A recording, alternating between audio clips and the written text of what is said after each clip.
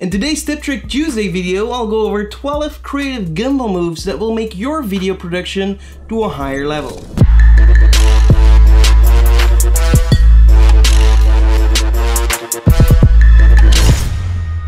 If you like my intro, I'm actually giving away a free premium intro template for After Effects and Premiere Pro that is very similar to my intro, but just a touch shorter. We'll put a link in the description below so you can go and check that out. It's entirely for free. Hey, what's up ladies and gentlemen? I'm Ignace Aleya and today we're gonna check out 12 creative gimbal moves. We'll start with the basic ones and end with a combination of different moves. The first move to use is the parallax move. Here you can separate your subject from the background. You can do this by having your foreground element passing close to the camera, such as walls, light posts, bushes, just things that pass in front of your camera and have something in the background as a focus element. That way you create some kind of parallax effect because both items actually move at a different speed and create a very dynamic shot. For the next shot, this type of movement, you can also create a slider kind of motion effect using the lock function on your gimbal, just like this.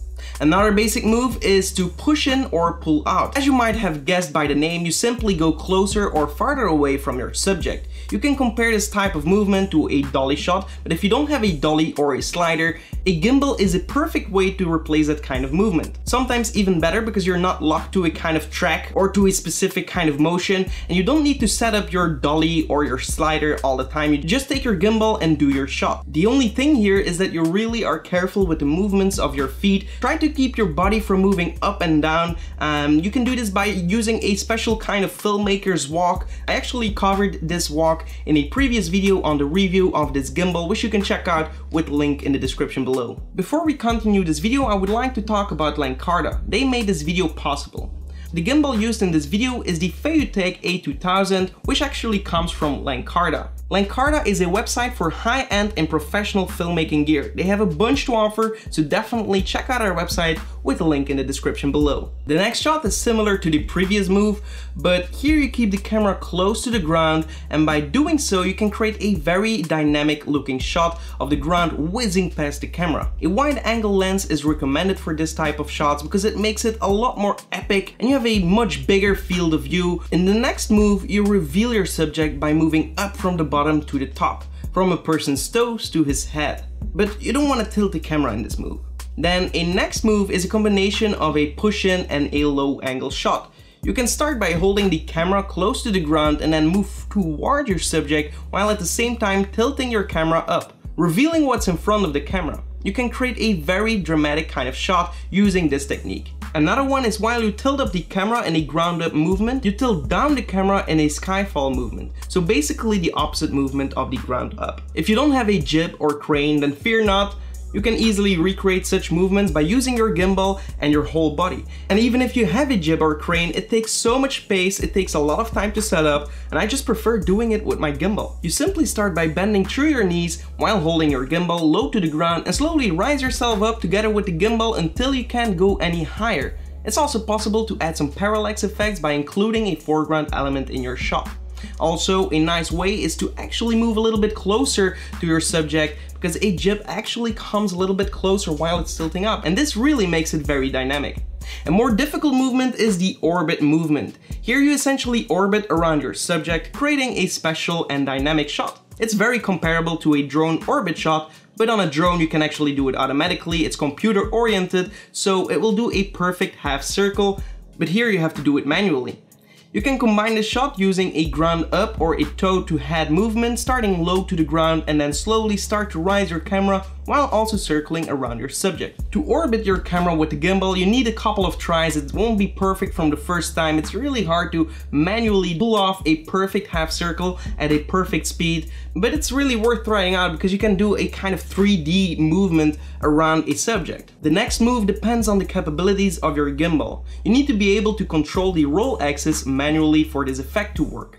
You can start by rolling the camera to one roll direction and then slowly rotate it to the other direction. It's best combined when you do a push in or pull out movement. To add some dynamic effect to the shot. This is really cool to use in music videos or some kind of dramatic uh, kind of science fiction movies. It's a really, really fun style to work with because you essentially rotate your canvas while moving closer to your subject. You see this a ton of times nowadays in music videos. Another basic move, here you simply track your subject either in front, back or side. It's important to maintain a steady level because otherwise you might notice the up and down movement of your gimbal because the gimbal doesn't actually uh, stabilize the up and down movement. So exactly like I mentioned before, you need to work on your walking. You don't always have to move your gimbal yourself. By placing the gimbal on a stabilizer or a tripod, you can easily create smooth pan or tilt shots. You can either use a joystick, but if your gimbal has one, such as this one, you can use their app.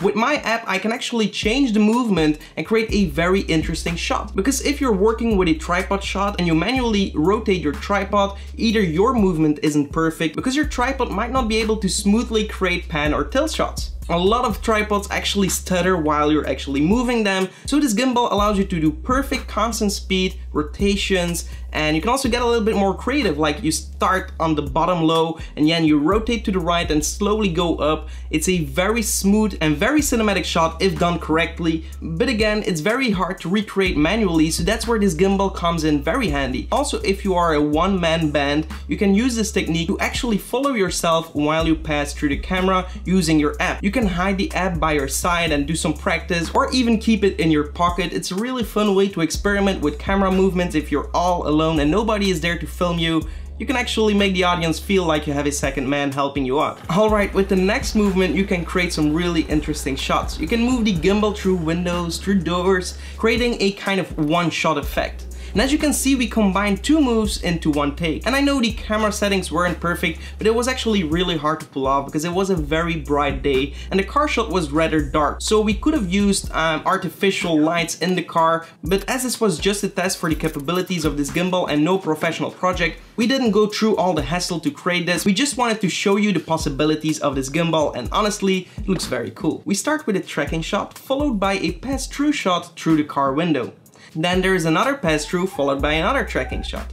You can see that there are some flaws, but this was merely a demonstration of what is possible. So basically how we did this shot, we needed three cameramen and one driver, so we needed kind of a little crew to do this to pull off this effect. But if you're very hardcore, maybe you could have pulled off this effect with only two people. So first of all, you have a cameraman filming the car coming closer and then coming closer to the car window, giving the gimbal to another cameraman inside of the car, hiding in the passenger seat.